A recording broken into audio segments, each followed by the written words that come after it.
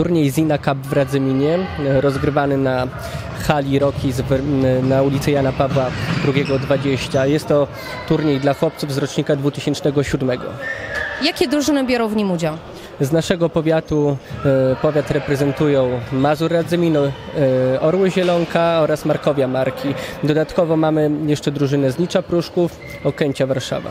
Na rozdaniu nagród będzie obecny pan Dariusz Dźwigała, trener reprezentacji Polski do lat 18 i 19 i zaraz będziemy mieli pokaz Dawida Ziomka. E, Dawid, e, jeśli chodzi o freestyle piłkarski, e, był w jednej szesnastej e, Mistrzostw Świata, więc jeśli chodzi o swoją, o swoją dziedzinę, u piłki nożnej jest w Polsce chyba jednym z najlepszych. Freestylem zajmuję się od ponad 11 lat.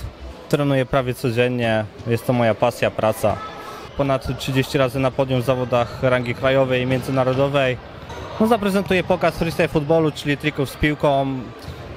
Jest to troszeczkę inny sport niż piłka nożna, ale jest piłka, na pewno myślę, że dzieciaki będą się fajnie bawić, będą podziwiać.